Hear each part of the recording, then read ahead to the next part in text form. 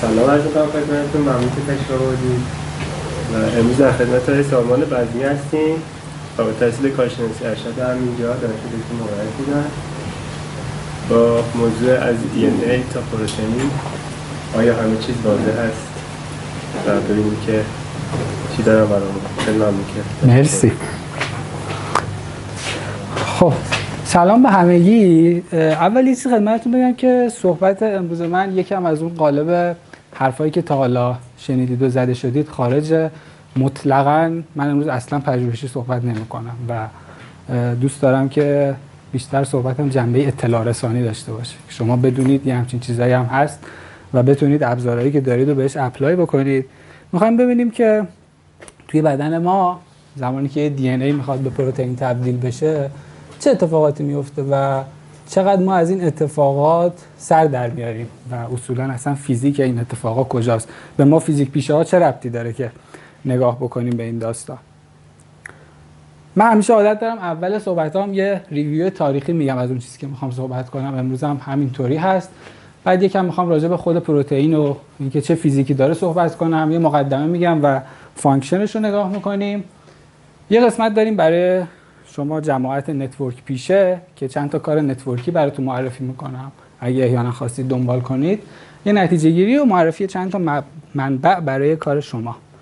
خب اولین باری که کلا پروتئین ها جایی خارج از بدن مورد بررسی قرار گرفتن و منجر به یه اتفاق بزرگ شد سال 1962 بود که این دو نفر به ترتیب از چپ سرجان کندرو و مکس بروس اومدن روی پروتئین های کروی کار کردن. پروتئین های کروی ساده ترین پروتئین هایی هستن که تو بدن ما هستن. مثل میوگلوبین. میوگلوبین یه پروتئینیه که مسئول غذا رسانی مثلا توی موجوداتی مثل باکتری ها رو داره. یه موجود خیلی ساده است. و خواص و ساختارهای اون رو بررسی کردن. اولین کسانی بودن که خارج از هیته زیست شناسی راجع پروتئین ها صحبت کردن و تونستن جایزه نوبل سال 62 هم به خودشون اختصاص بدن. چیکار کردن؟ اومدن پروتئین ها رو به عنوان یک سری ماشین های مولکولی نگاه کردن. و خواص شیمیایی اونها رو گفتن. و رفتن تو آزمایشگاه آزمایش کردن دیدن که خب آره حرفشون با تئوریایی که زدن در واقع می‌خونه. و چه به این افراد جایزه نوبل تعلق گرفت. بعد از این قضیه فیزیکدان ها به فکر افتادن. گفتن که خب حالا شیمیدان ها می‌تونن. چرا ما نتونیم؟ معمولا فیزیکدان ها عادت دارن که خیلی جا سرک می‌کشن. شروع کردن صحبت کردن راجع پروتئین و گفتن که خب اگه اونها خواص شیمیاییشو دارن میگن شاید ما هم بتونیم خواص فیزیکی اینها رو بیان کنیم و ازش نتیجه گیری های خوب در بیاریم. علل اصول چی هستند؟ در وهله اول یک سری موجودات بیولوژیک هستند که تو بدن همه ما زندگی می‌کنن. وقتی دستتون رو بالا پایین می‌کنید یه سری پروتئین دارن کار می‌کنن که توی ماهیچه های شما ذخیره شده. حالا چی اینها رو متمایز می‌کنه؟ اون وقتی چیپس می‌خواین بخورید روش نوشته پروتئین چربی کربوهیدرات اسیدهای ترانس و فلان و فلان و فلان. همه اونها توی بدن ما هستن و با چیزهایی که می‌خوریم اینها رو دوباره جذب می‌کنیم. ولی یه فرقی پروتئین با اینها داره. فرقش اینه که پروتئین پیچیده تر از کربوهیدرات هاست پیچیده تر از قندهایی که توی بدن ماست. و این ساختارش رو متمایز می‌کنه. وقتی ساختارش متمایز بشه طبیعتا عملکرد و مکانیزمش هم باید متمایز بشه. پس ما با ساختار پیچیده طرفیم که داره رفتار پیچیده از خودش نشون میده. حالا چرا رفتار پیچیده؟ جلوتر متوجه میشیم. ساده ترین شکلی که میشه براش گفت اینه که هممون تو کتاب علوم خوندیم که یه سری اسید آمینه کنار هم قرار می‌گیرن میشن پروتئین. ما 20 اسید آمینه بیشتر نداریم که خب اینا خیلی کار انجام میدن. توی کلاژن ها هستن کلاژن ها پروتئین های ساده ای هستن که تو بافت های همبند ما خارج از سلول های ما زندگی می‌کنن. فیزیک جالب خودشون رو دارن. توی epidemic spreading من دیدم که نگاه می‌کنن بهش. تو بدنه ویروس ها هم هستن. ویروس ها ویروس های بیماری های ما بدنشون از جنس پروتئینه. ویروس رو مرز سلول زنده در نظر می‌گیرن. چرا؟ چون یک سری اطلاعاتی در خودش داره ولی نمی‌تونه رشد کنه نمی‌تونه اطلاعات رو تکثیر کنه. بعد بره حتما تو بدن این موجود زنده بشینه تا بتونه اون اطلاعات و info یی که داره رو در واقع بازنشر بده توی بدن. پروتئین دیگه چیکار می‌کنه؟ از لول میکرو تا ماکرو. میکرو داخل سلول ماکرو تا همین حرکت دستتون. مسئول transport و store کردن انرژی توی بدن شماست. خیلی از داروهایی که شما مصرف می‌کنید محلولی از پروتئین هاست ترکیبی از پروتئین هاست. پس در کنترل بیماری ها هم نقش داره. یه اتفاق دیگه که خیلی مهمی که توی پروتئین هست پروتئین محصول ترجمه یک سری ژن هست. پس این مهمه. اینکه یه آدم فیزیکی می‌تونه بیاد بررسی کنه رفتار این ژن ها رو و براشون دارو تجویز کنه. پس این مهمه. چرا؟ جاییه که شاید خیلی شنیده باشید که فیزیکدانا میرن تو بیمارستان کار می‌کنن تازگی ها چرا؟ یکی از علتاش همینه چون می‌تونن رفتار ژن ها رو پیش بینی کنن. و اون پیش بینی خیلی برای ما مهمه. پس این جایی که فیزیک و دارو در واقع می‌تونن به هم متصل بشن. پس تا حالا فهمیدیم که پروتئین مهمه. چقدر کار میشه باهاش انجام داد. از دیدگاه آکادمیک شما با یه موضوع کاملا بین رشته روبرو هستید. الان ریاضیدانا رو پروتئین کار می‌کنن. بیو انفرماتیکا کار می‌کنن فیزیکدانا کار می‌کنن شیمیدانا کار می‌کنن خود کار می‌کردن. پس خیلی مهمه دیگه که این همه آدم دارن روش کار می‌کنن. حالا دو تا دیدگاه این وسط وجود داره که مردم رو اصلا متمایز می‌کنه به خصوص برای ما فیزیک پیشا. ببینید یه دیدگاه دیدگاه قدیمی بیولوژیستاست که می اومدن می‌گفتن که خب مثلا باکتری داره حرکت می‌کنه. حرکت این باکتری داره از قانون دوم نیوتن پیروی می‌کنه. پس یه فیزیکی توی این هست. مثلا من اون فیزیک رو به عنوان یه بیولوژیست میشینم می‌خونم معادلات نیوتن رو می‌نویسم. خب سیستم فیزیکیم توجیه شد. سیستم زیستیم توجیه شد. ولی دیدگاه مدرن یه دیدگاه تقریبا 20 25 ساله است که میگه که من به عنوان یک فیزیک پیشه با یه سامانه زیستی روبروم که می‌تونم اون رو توجیهش کنم. حالا تفاوتش با قبلی چیه؟ تفاوت در اسکیل نگاه هست. توی قبلی ما دیگه نمیریم. تو تو قبلی ما می‌رفتیم نگاه می‌کنیم ببینیم فلان باکتری داره چجوری حرکت می‌کنه. اینجا دارم یه آنساب می‌گیرم رو همه سیستمم رو همه باکتری هستن رو همه ژن هایی که هستن. پس طرز نگاهمو دارم عوض می‌کنم. یه جورایی انگار دارم یه نگاه جمعی بهشون می‌کنم. حالا یه مشکل این وسط وجود داره. زمانی که ما مکانیک کلاسیک کار می‌کنیم یه مسئله برخورد و مثلا توی میز بیلیارد که می‌خوایم حل کنیم چیکار می‌کنید؟ دیگه خب چند تا قانون پایستگی براش می‌نویسید و حل می‌کنید. هیچ وقت نگاه نمی‌کنید که حالا خورشید کجاست مریخ کجاست و برعکسش هم هست. وقتی دارید معادلات منظومه شمسی رو می‌نویسید هیچ وقت کاری ندارید که خودتون کجایین. یه سری معادله عام می‌نویسید و مسئلهتون حل می‌کنید.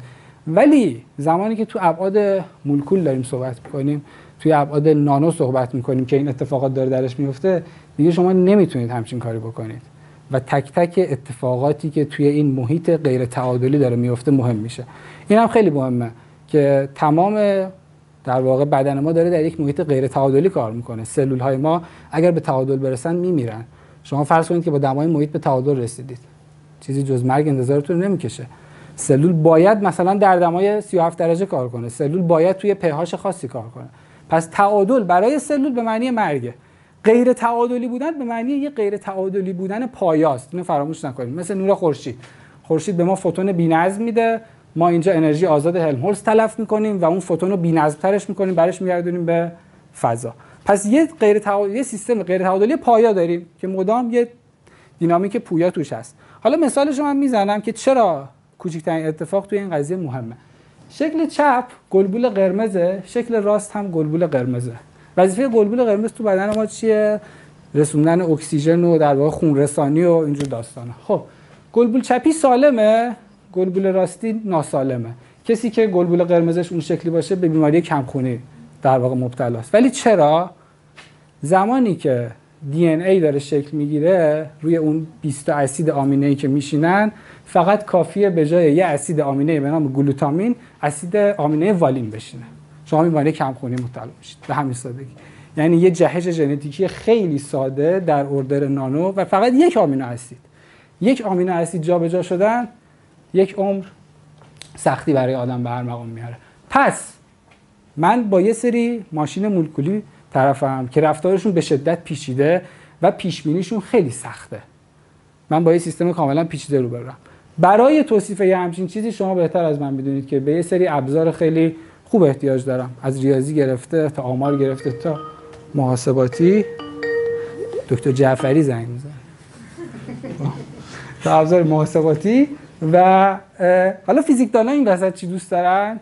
فیزیکدانا یا فیزیک پیشه ها بهتر بگم دوست دارن که اینجور سیستم ها رو با قوانین فیزیکی که دارن با ابزاری که دارن در واقع مطالعه کنن و پیش بینیش کنن که در آینده این سیستم داره چه اتفاقی میفته چرا پیش بینیش بکنن؟ به خاطر اینکه بتونن احتمالا با مذراتی که در واقع در آینده می‌تونه به انسان بزنه در واقع مبارزه بکنن. مثلا این شد تا اینجا. حالا یکی از قشنگترین و مهمترین مسائلی که توی این داستان پروتئینا راجبش صحبت میشه مسئله پروتئین فولدینگه. حالا فارسی میگن خمش پروتئین. خمش شاید بهترین کلمه ای که میشه براش پیدا کرد. یکی از مسائل حل نشده این داستانه هنوز جوابی براش پیدا نشده و مکانیزمش به طور واضح مشخص نیست. در یه تعریف ساده پروتئین فولدینگ یعنی چی؟ یعنی پیش بینی ساختار سه‌بعدی و نهایی پروتئین از اون زنجیره یک بعدی آمینو اسیدش که خب یه سری مونومر میشینن کنار هم قراره پلیمر بسازن. خب این هنوز پیش بینی نشده. یعنی هنوز هیچ مکانیزمی پیدا نشده که بتونه مسئله پروتئین folding رو دقیقا پیش بینی کنه. که شما بگید که خب من این اسیدهای آمینه رو آوردم گذاشتم کنار هم و در نهایت این میشه پروتئین هنوز چنین مکانیزمی وجود نداره حداقل هنوز بشر بهش نتونسته دست پیدا کنه. حالا چیزی که مهمه شما وقتی که می‌خواین یه همچین پیش بینی انجام بدید محکوم به این هستید که اون ساختار بیولوژیک رو بشناسید.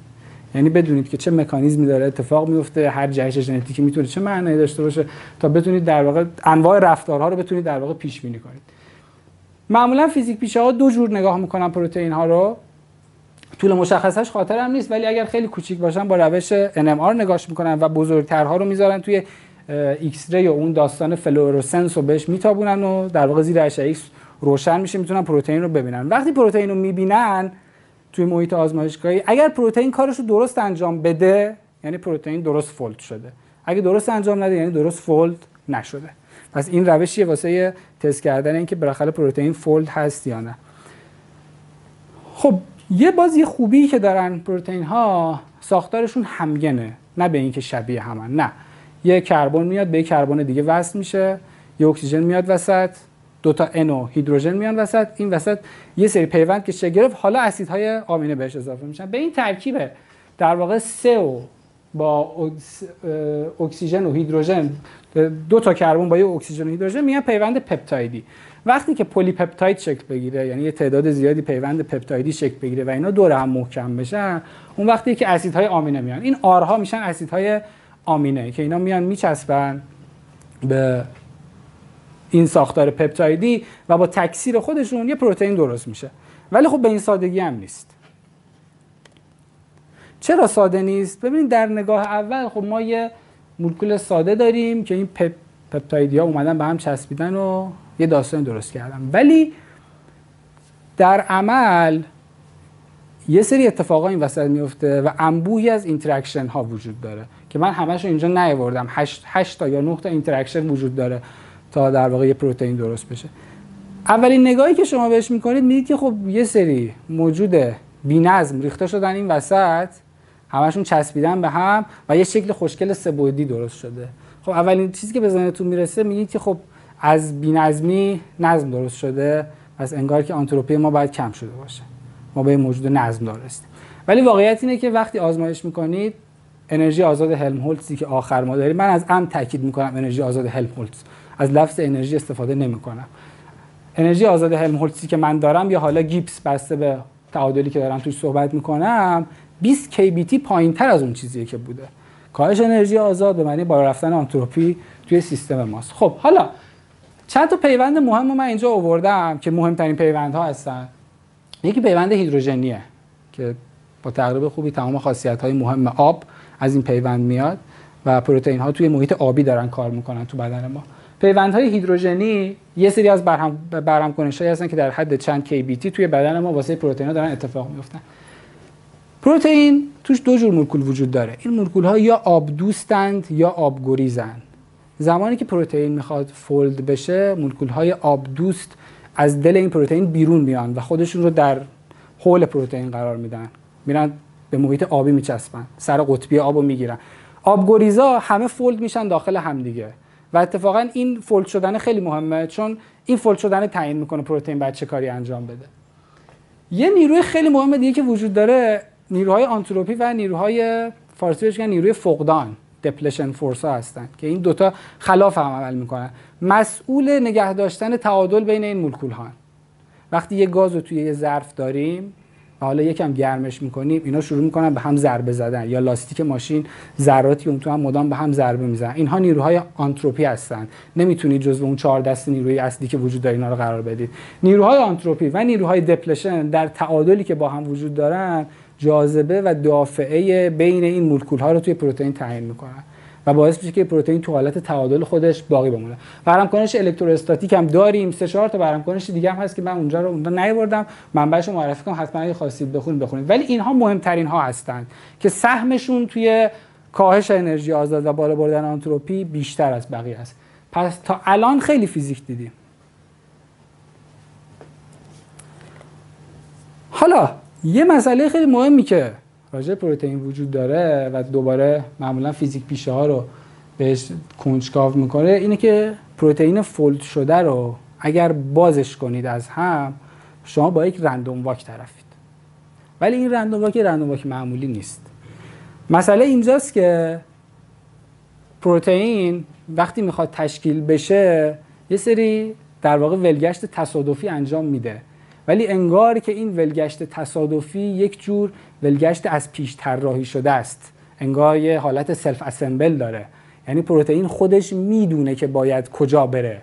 اگر این اینطوری نبود شما می‌تونستین تو آزمایشگاه خودتون پروتئین بسازید. در حالی که نمی‌تونید این کارو بکنید. حالا چه اتفاقی میفته ببین مثل باکتری باکتری تو آب حرکت می‌کنه و عمل دیفیوژن انجام میشه و کاملا اون حرکت باکتری با معادله پخش قابل بررسیه. ولی باکتری هر نوع دیفیوژنی رو انجام نمیده توی آب. مسیری که رفته رو بر نمیگرده. انگار می‌دونه داره کدوم ور میره. وقتی دنبال غذا میگرده. یا مثلا شکل خودش رو تغییر میده. تا اینکه بتونه راحتتر غذا پیدا کنه. از کروی به استوانه خوش در میاره. راحتتر بتونه غذا پیدا کنه. پس این مسئله سلف اسمبل بودن خیلی مهم میشه. انگار طرف می‌دونه داره کجا میره. و پروتئین هم از این قضیه مستثنا نیست. پس مطلقا در عین تصادفی بودن می‌تونیم ادعا کنیم که تصادفی نیستیم. باز این یه جنبه دیگه از پروتئینه که فیزیک پیشه ها رو در واقع مشغول خودش کرده. حالا سوالی که پیش میاد. این که خب چرا مهمه پروتئین فولدینگ؟ خب چون هنوز جواب داده بهش نشده. معمولا وقتی سوالی بهش جواب نداده باشه میگن مهم. وقتی جواب دادن خب دیگه مهم نیست. بعد از اون اینکه واقعا فهمیده شده کاملا پاسخ نه. مسئله حل نشده است. و همونطوری که بهتون گفتم توی این ساختار که شکل سادهش رو می‌بینید یه مونومر خیلی عادی تبدیل شده به یه شکل در هم پیش خورده. با پایین اومدن انرژی آزاد و با رفتن آنتروپین اتفاق افتاده. یه مسئله خیلی مهمی که این وسط هست اینه که ما اینجا پیوند کوالانسی نداریم. پیوند کوالانسی چرا نداریم؟ پیوند کوالانسی انرژیش در اوردر چند صد کی بیتی می‌تونه باشه و بدن ما نمی‌تونه چنین انرژی رو فراهم کنه در داخل خودش. چند بیتی می‌تونه داشته باشه بدن ما؟ در دمای اتاق. 300 کلوین بگیرید ثابت هلمهولتز 10 به توان منفی 20 چیزی در اوردر 10 به توان منفی 21 kBT ی بدن ما می‌تونه در واقع تحمل کنه. خب حالا وظیفه آماریکارا چیه؟ آماریکارا اون داستان نگاه کردن به ماکرو و پیشبینی میکرو دیدن خواص میکرو صحبت کردن در مورد خواص ماکرو چیزی که تو پدیده‌های بحرانی داریم. نگاه کردن به تعداد زیادی مجموعه. آنسامبل گرفتن محاسبه آنتروپی simulation کردن. انواع اقسام کارهایی که خودتون تو خیلی وقتا انجام دادید اینجا هم برقراره. پس انگار یه تجربه ای داریم که می‌تونیم ازش استفاده کنیم و این ساختار رو بهتر بفهمیم. پس موضوع خوبیه واسه statistical physics چون انقدر ویژگی داره که توش بشه آماری کارا بررسی کنن و نحوه بررسی کردن مسائلش هم همون روند کلاسیک خودمون رو داره. یعنی با اینکه ناشناخته است ولی می‌دونیم یه سری landscape های انرژی وجود داره. وقتی landscape انرژی وجود داره partition function می نویسن بعد میان حالا شروع کنن خواص ترمودینامیکی رو حساب کردن.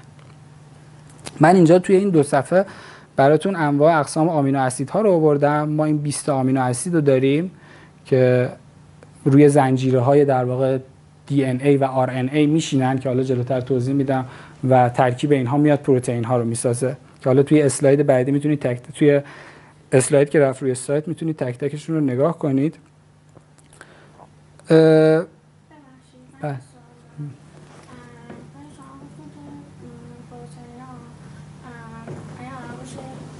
سیستم این از تبدیل شده باشن به الان شما یه شرطش اینه که باید انرژی آزاد در مینیموم شده باشه درسته؟ پایین اومده باشه. شرطی که نیست این اتفاق میفته. این اتفاق میفته. یعنی نمودار protein folding رو توی حالا کتاب نلسون هست. من نیاوردم اینجا. اگه ببینید این نموداری همچین حالتی که مثلا از اینجا شروع میشه میره بالا و میاد پایینتر و دوباره یکم میره بالا. و دو تا مینیموم داره نمودار. چون هم سهم افزایش آنتروپی داره و هم سهم کاهش انرژی آزاد.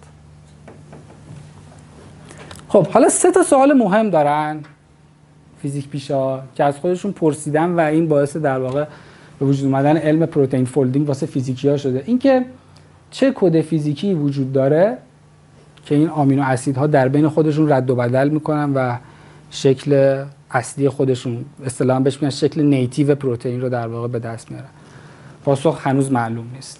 rate protein folding چیه؟ چقدر طول می‌کشه پروتئین fold بشه؟ جواب این سوال تقریبا معلومه. protein folding معمولا بسته به نوع پروتئینی که می‌خواد تشکیل بشه متفاوته ولی به طور متوسط در order میلی ثانیه پروتئین fold میشه. خب این دیگه خیلی عجیب غریب شد. یعنی یه سری آمینو اسید کلی translation و ترانسکریپشن می‌خوان انجام بدن. translation از DNA به RNA اتفاق میفته یعنی کپی از اون اطلاعات ژنتیکی درست میشه میشه RNA. بعد اینها قراره که ترانسکریپت بشه. اینها میان کنار هم میشینن ترجمه میشن به حالا اون اطلاعاتی که باید ترجمه بشن. حالا هر یه اسمی دارن که اینجا آوردم. و اینا بعدش یه اتفاقاتی برام میفته که میگم جلوتر این در order میلی ثانیه داره واسه بیشتر پروتئین ها اتفاق میفته. و اینکه آیا می‌تونیم پیش بینی کنیم؟ که هنوز جوابشو نمی‌دونیم.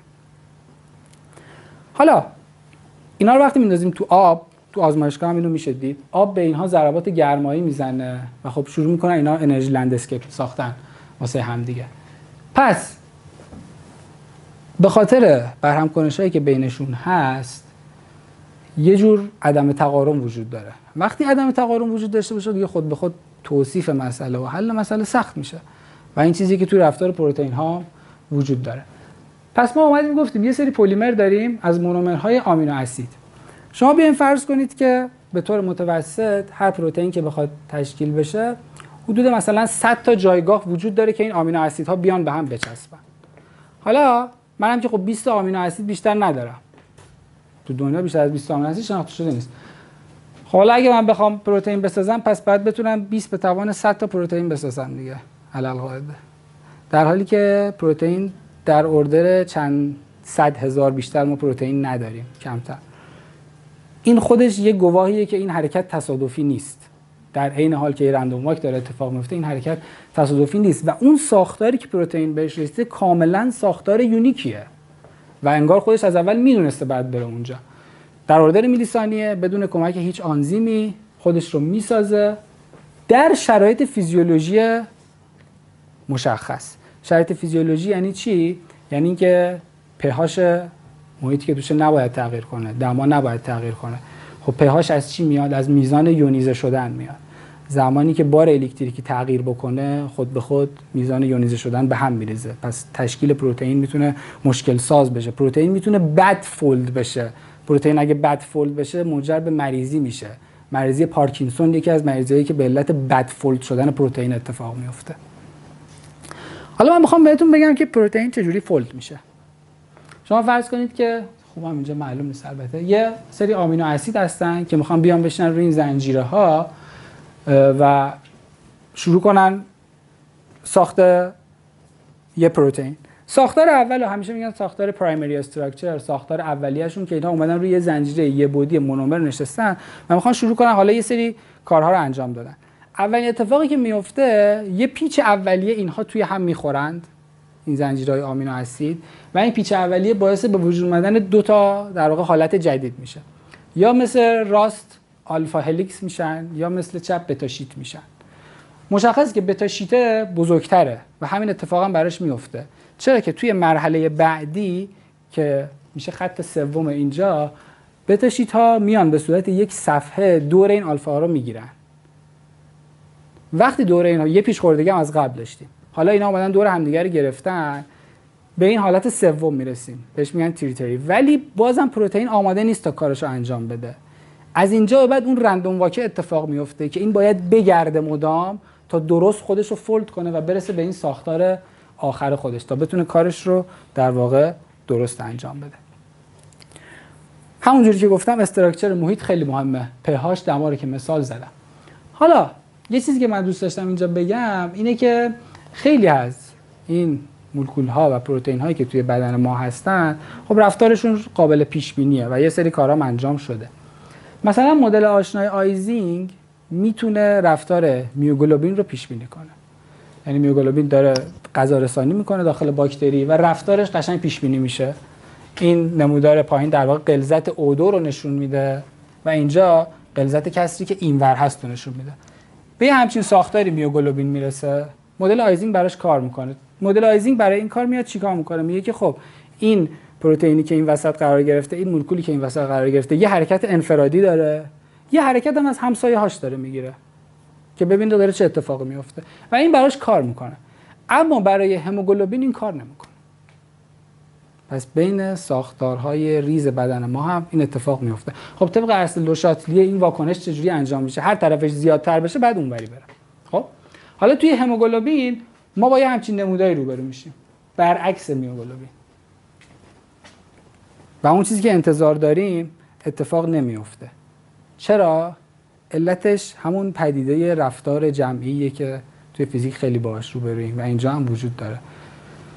معمولا فیزیک‌دانا میگن collective behavior بیولوژیستا میگن cooperative behavior خب حالا اتفاقی که میفته چیه؟ ببینید توی هموگلوبین که به وسیله عنصر آهن وظیفه خون رسانی توی بدن رو داره چهار تا اکسیژن اینجا می‌خوان جذب این چهار تا آهنی بشن که اینجا وجود دارن.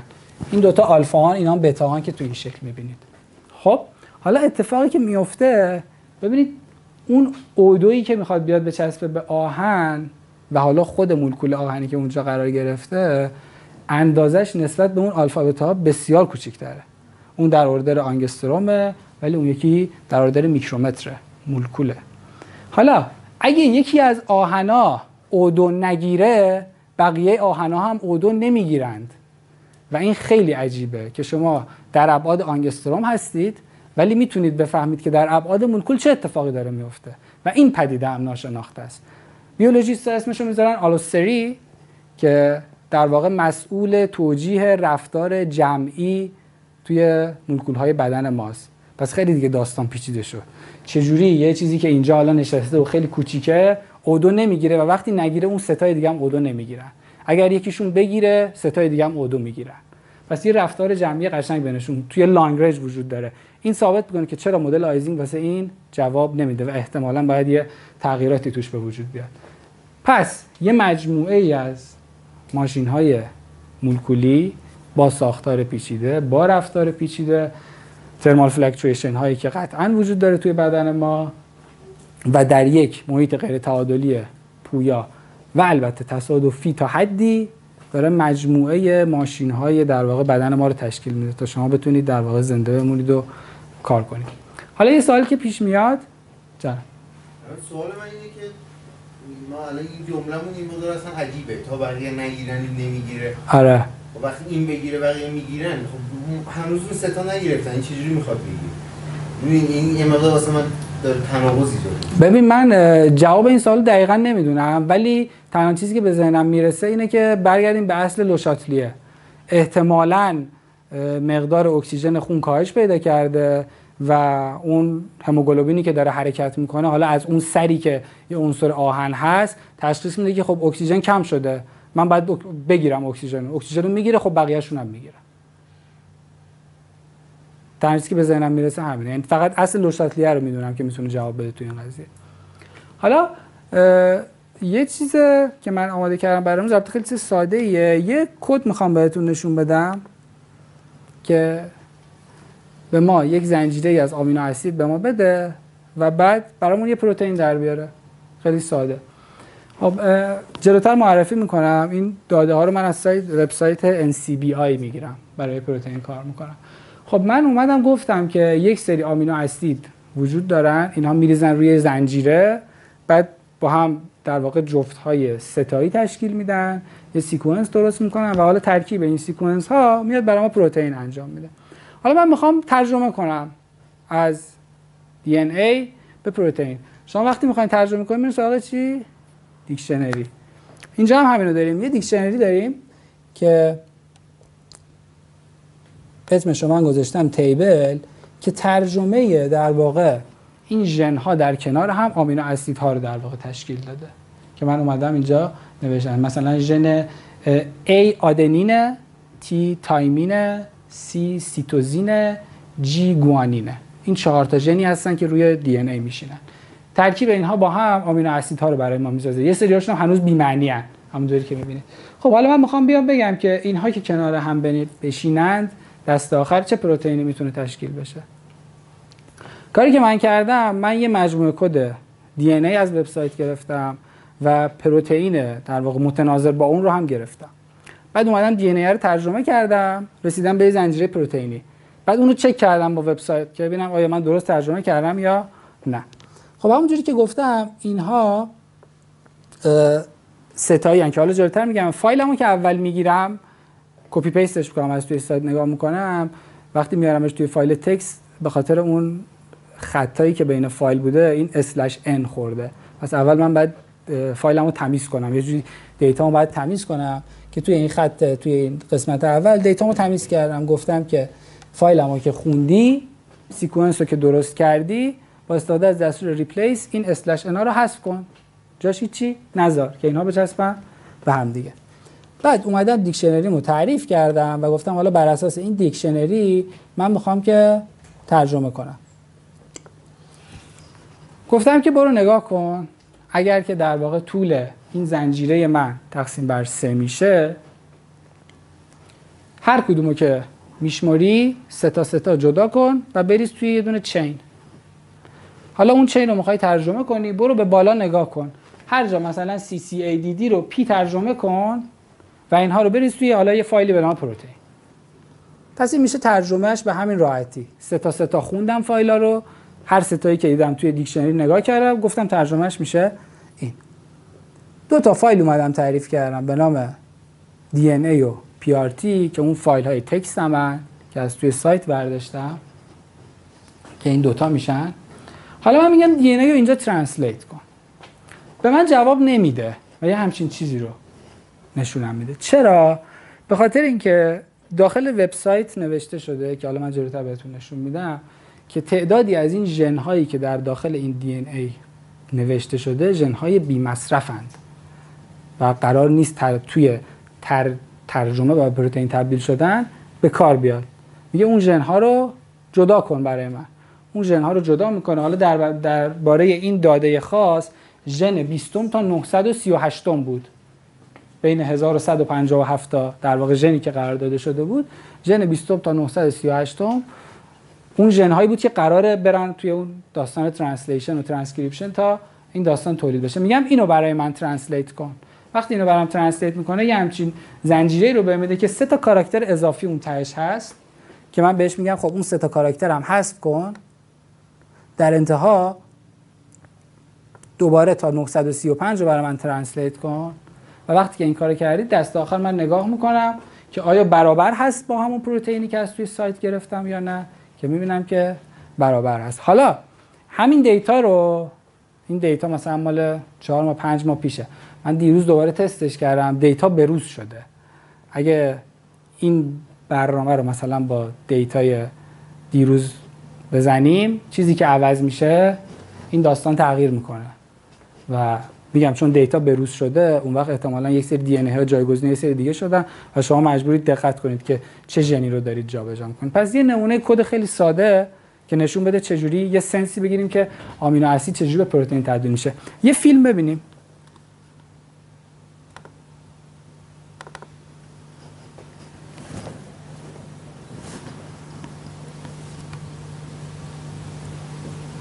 Here is a cell. the basic unit of all living tissue.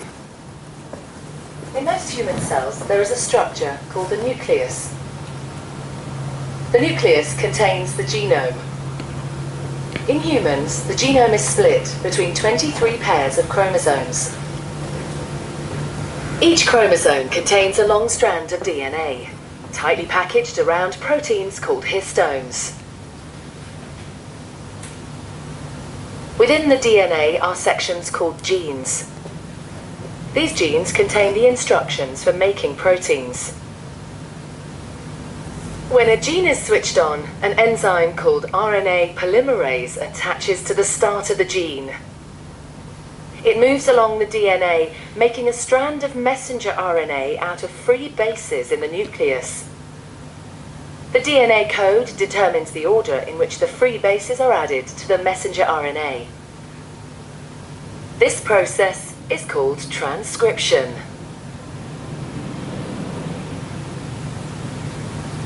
Before the messenger RNA can be used as a template for the production of proteins, it needs to be processed.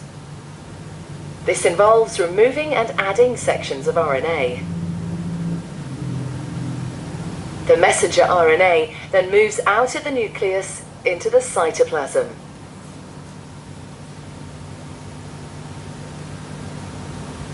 Protein factories in the cytoplasm, called ribosomes, bind to the messenger RNA. The ribosome reads the code in the messenger RNA to produce a chain made up of amino acids. There are 20 different types of amino acid. Transfer RNA molecules carry the amino acids to the ribosome. The messenger RNA is read three bases at a time. As each triplet is read, a transfer RNA delivers the corresponding amino acid. This is added to a growing chain of amino acids. Once the last amino acid has been added, the chain folds into a complex 3D shape to form the protein.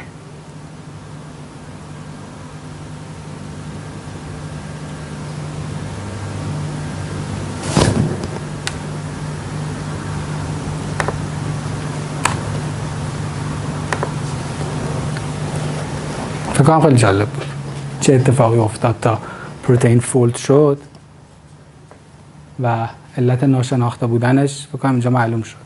اطلاعاتی در دسترس نیست که این وسط چه اتفاقی میفته و پروتئین از کجا می‌دونه که بعد یه همچین ساختاری رو به خودش بگیره. حالا سوال جالب تری که پیش میاد این وسط اینه که تمام موجوداتی که تو شکل دیدید از RNA گرفته تا DNA و اون کارخونه در واقع فکتوری که گفت به نام ریبوزوم اینا خودشون از جنس پروتئینن. یعنی پروتئین لازمه تا پروتئین ساخته بشه. حالا بالاخره اول مرغ بوده یا تخم مرغ؟ این سوال بیولوژیست هم هست و بی پاسخه پس جالب تر شد داستان. حالا من سه تا یا چهار تا چرا اونجا نمی‌دونم. چند تا کار از network آوردم که البته خودم نخوندمشون فقط سرسری نگاهشون کردم ولی چند تا کار مهمتری که می‌تونستم تو این زمینه پیدا کنم. یکی این کاره که لزلی گرین سال 2012 چاپ کرده بود. خودش بیولوژیسته ولی network کار می‌کنه. اومده آمینو اسید translation هایی که می‌رفتن روی RNA میشستن و به عنوان node در نظر گرفته interaction بینشون رو لینک در نظر گرفته و یه شبکه درست کرده از پروتئین ها این یکی از کارهایی بود که فکر کنم می‌تونست جالب باشه تو این زمینه. یه کار دیگه که این جماعت اومدن انجام دادن این بودش که اومدن گفتن که آقا توی این داستان پروتئین ها از گراف استفاده کنید. شبکه های پروتئین رو می‌تونید درست کنید و با استفاده از گراف. این یکم کار قوی تری بود چون ورق که می‌زدم ساختارهای دینامیکی فولد شده هم توش نگاه کرده بود و سنترالیتی و اینجور چیزا هم حساب کرده بود. فکر کنم شما بهش علاقه‌مند باشین. حالا مقالهشو من دارم. یه کار دیگه که اینها باز آدمای فیزیکی تری هستن. این البر رن البر اینجور کارا زیاد انجام میده تو حوزه computational فیزیک. اینها اومدن یه مدل بر اساس در واقع شبکه‌ای که از پروتئین های fold شده درست کردن یه مدل network ی برای دینامیک بین پروتئین های fold شده پیشنهاد دادن که حالا کی معلوم شد درست یا غلط نمی‌دونم. ولی باز این کار فیزیکی تره. اگه کارهای network ی تو این زمینه می‌خواین دنبال کنین کارهای البر رو احتمالا پیدا کنید جالب تر می‌تونه باشه. خب چی فهمیدیم؟ اینکه پروتئین فولدینگ چیه بالاخره؟ هم می‌دونیم هم نمی‌دونیم. و کلی موضوع باز تو این زمینه هست که یکی از ریویوهای مهمی که توی این داستان نوشته شده آخرش همه این موضوع رو بیان کرده. ما دانش آزمایشگاهی خیلی کمی داریم از انرژی هایی که این وسط داره رد و بدل میشه. ما یه ابتدا داریم یه انتها. ولی اینکه چجوری این مسیر داره طی میشه واقعا ناشناخته است. جمع شدن پروتئین ها با هم ناشناخته است. اینکه چطور تحول زمانی این پروتئین ها می‌تونه منجر به خوب شدن یه بیماری بشه یا می‌تونه منجر به در واقع رشد یک بیماری بشه. این کمک می‌کنه به ما که بتونیم یه الگوریتم پیدا کنیم برای جفت کردن اینها با هم تا بتونیم احتمالا در برابر خطرات آینده مقابله کنیم و phase transition ی که بین پلیمرها هست. این مسئله مسئله ایه که تا حدودی راجبش صحبت شده ولی بازم هنوز ناتموم مونده. که وقتی یک مونومر میاد به یک پلیمر در واقع تبدیل میشه چه پدیده هایی حالا از جنس بحرانیت احتمالا و از جنس گذار فاز مرتبه دو می‌تونه بینشون اتفاق بیفته. و یه موضوعات باز دیگه هم که میشه گفت پروتئین های بی‌نظمن. یک سری پروتئین هستن که دیزوردرد پروتئین در واقع بهشون لقب میدن و خب ویژگی های فیزیکی جالبی می‌تونن نسبت به سایر پروتئین های دیگه در واقع داشته باشن. اما اگه علاقه دارید که بیشتر بدونید توی این کار آشناتر بشید. یه ریویو خیلی مهم هست که فکر کنم 2012 چاپ شده که این protein folding problem 50 سال که دیل و مکالوم نوشتن. خود این دیل توی تگزاس فکر کنم و چندین و چند review راجع پروتئین نوشته. توی فکر کنم دانشکده فیزیک تگزاس اگه اشتباه نکنم دی Ken A Dill که کاراشو می‌تونید دنبال کنید تو صفحه Google Scholar ش. در واقع بزرگترین پروتئین فیزیک کار دنیاست با تعریف خوبی. یه کتاب خوب هوانگ داره. هوانگ همتون می‌شناسید احتمالاً کتاب آماریشو دیدید. Statistical Physics and Protein Folding این هم خیلی قشنگ اومده. مفاهیم diffusion و در واقع sub diffusion و super diffusion و random walk هایی تو محیط های غیر تعادلی و اینها رو همه رو توی کتابش باز کرده. چون همه اینها چیزایی هست که توی protein folding داره اتفاق میفته و این موضوع رو می‌تونه در واقع جذاب کنه.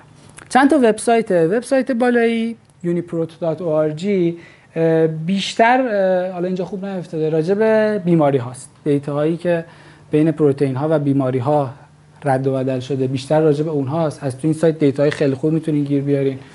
اگه علاقه‌مند به کار data هستید. یه سایت هم این پایینه که Influenza Research Database ه که اینم پر از data های پروتئینی و ساختار پروتئین هاست.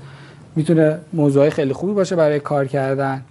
و وبسایت NCBI که شما از ژن و پروتئین و باکتری و هر چیزی که در حوزه زیست شناسی به ذهنتون برسه توش می‌تونید دیتا پیدا کنید دی ان ای آر ان ای و در واقع باهاش کار بکنید.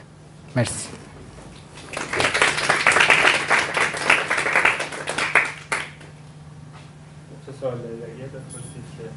اگه بگید چه جالب من به هدفم رسیدم. من به هدفم رسیدم. من نلسون رو تموم کردم. توی دو ماه اخیر در واقع. آره. مجبور بودم آخه. مجبور وقتی باشیم که کار رو بهتر انجام بدیم. خیلی کتاب خوبیه. نلسون فوق کتاب خوبیه. و حالا نکته جالبش برای کسایی که نمی‌دونن نلسون یه نسبیت عامکاره. خودش یه نسبیت عامکاره. و این کتاب اومده نوشته. و خودش همیشه میگه میگه خیلی از کتابای بیولوژی یه جورایی حالت جرک دارن بدن. فیزیکی وقتی میخونتشون حالش بد میشه. اتفاقا چند روز پیش توییتر گلدنفلد هم یه همچین حرفی زده بود. حالا گلدنفلد چند تا کتاب معرفی کرده بود. گفته بودش که اگه می‌خواین زیست فیزیک کار کنید بیاین اول اینا رو بخونید که نلسون بینشون نبود. حالا این جالب بود بر من آره. ولی کتابای زیستی بودن کتابای فیزیکی نبودن. نلسون کتاب رو مختص فیزیکدان ها نوشته. یعنی یه کتاب زیست شناسی نوشته تحت عنوان Biological Physics. Energy Information Life و مخصوص فیزیکدان نوشته یا آدم گرانشکار یه همچین کتاب نوشته. یه کتاب جدید هم نوشته Computational Physics with Python برید توی سایتش کتابم 160 70 صفحه بیشتر نیست. به نظرم جماعت شما ها می‌تونه تو یه هفته این کتاب تموم کنه همه کداش هم بزنه. خودش هم یه سری کد رفرنس گذاشته رو وبسایتش. منتها مشکل که از وبسایتش بلاگ اسپاته باید از فیلتر شکن استفاده ولی حتما برید به سایت نلسون آقای نلسون سر بزنید.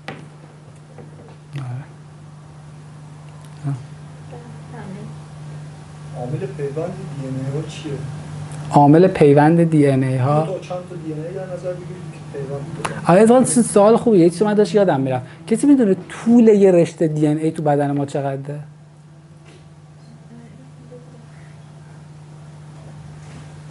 یه رشته یه رشته خیلیه. آره.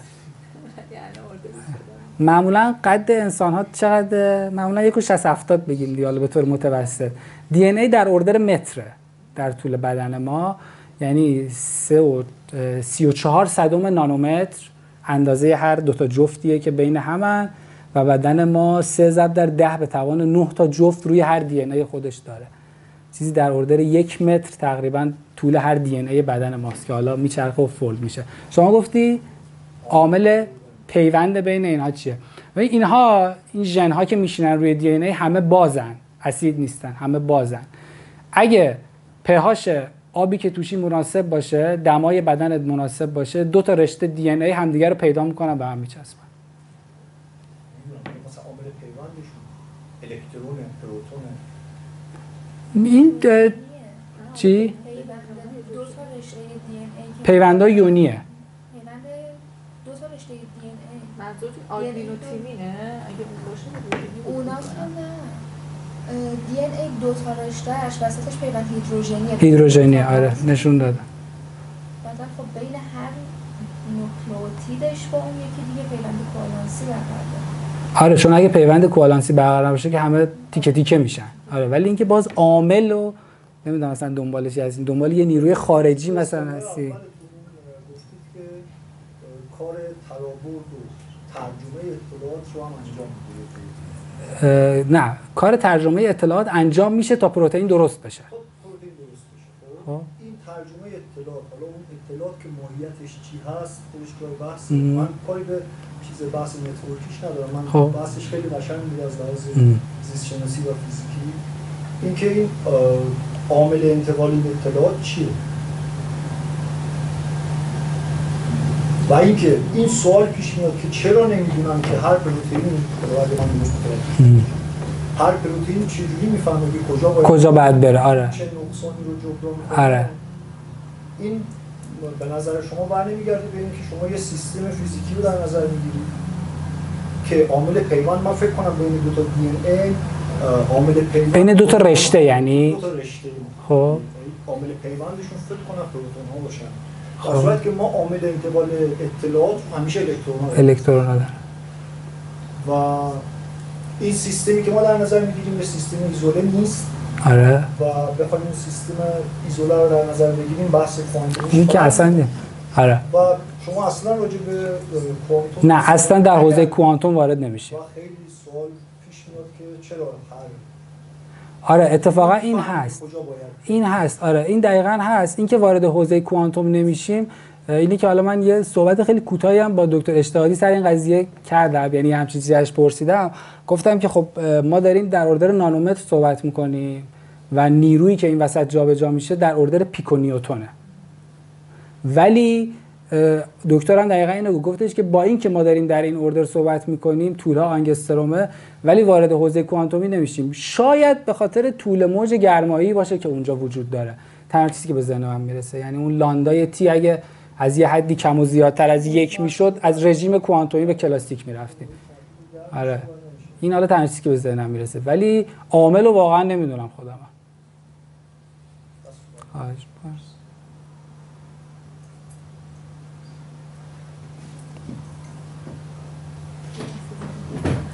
خب، ممنون از آقای قزوینی. خواهش می‌کنم. مرسی.